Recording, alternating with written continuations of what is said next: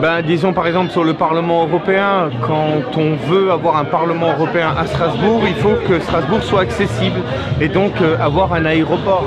Donc là, et, effectivement, euh, on sait très bien qu'aujourd'hui, si, l'aéroport de Strasbourg se maintient, c'est parce que le contrat triennal entre euh, Strasbourg, l'État et les collectivités locales permet de financer les taxes d'aéroport. Si jamais on arrêtait ce contrat triennal, ce serait la fin de l'aéroport et donc la fin du Parlement européen, Deuxièmement, euh, le stade de la Méno.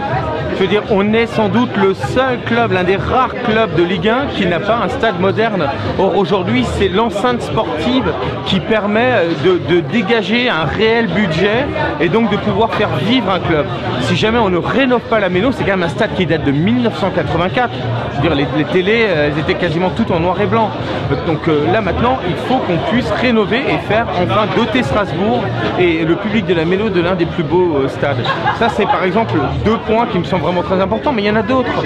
Euh, bannir à 100% la voiture, notamment pour les commerçants, c'est un problème, c'est une question.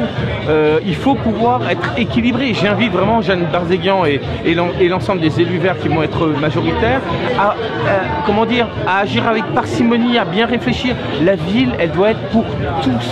Ils ont gagné avec 40%, 40% avec un très faible taux de participation. Euh, donc il faut vraiment penser aussi à tous ceux qui n'ont pas voté et aussi ceux qui se sont reportés sur une autre liste. Il faut être ouvert et trouver des solutions pragmatiques. C'est tout Ouais, c'est bon. Merci beaucoup. Merci.